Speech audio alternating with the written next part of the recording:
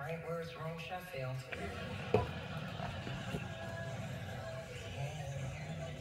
Why don't you just rest? Maybe you'll get